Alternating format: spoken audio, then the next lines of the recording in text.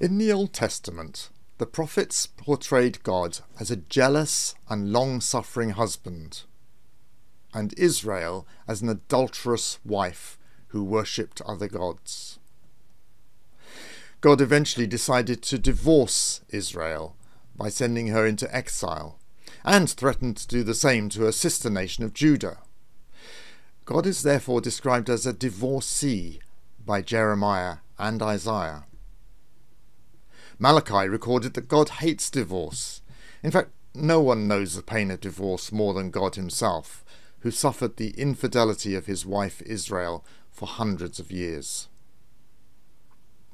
When the Pharisees asked Jesus about divorce, he wanted to talk about marriage.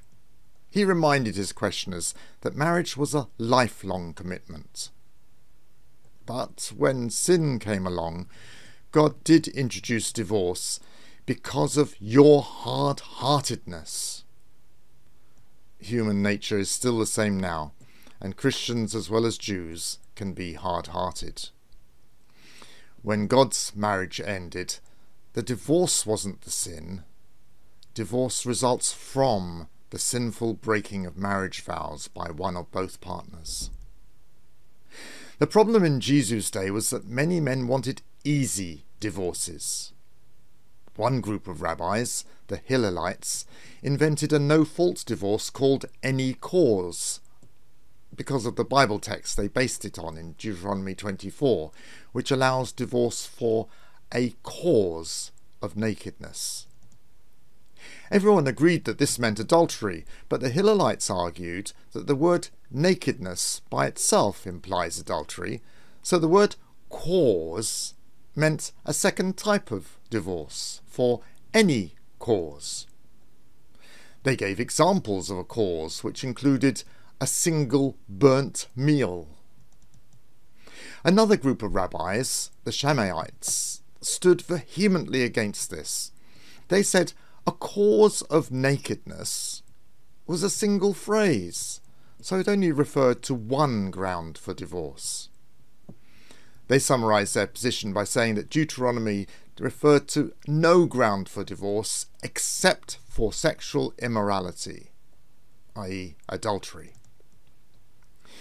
This was the context for asking Jesus, Is it lawful to divorce one's wife for any cause? Jesus answered by agreeing with the traditional interpretation, and he even quotes the Shammaite slogan that Deuteronomy refers to no ground for divorce except for sexual immorality. Modern readers are likely to misunderstand this question. Unless you know about the any cause divorce, you'd think that they're asking Jesus whether he approves of divorce in general. In Jesus' day, everyone knew this legal jargon because everyone was talking about this new any cause divorce. However, once the debate was over and the any cause divorce had become the only type of divorce available, the technical term any cause was forgotten very quickly. Faithfulness wasn't the only marriage vow.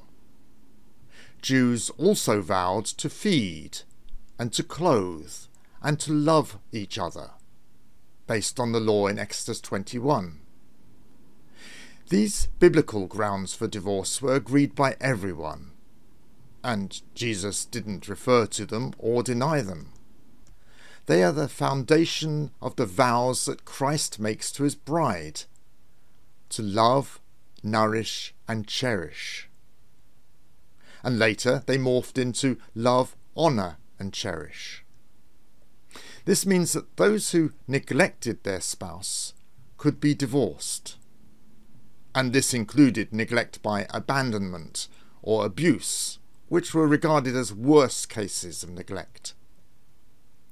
This explains the scriptural basis for Paul's conclusion that an abandoned spouse is free to remarry.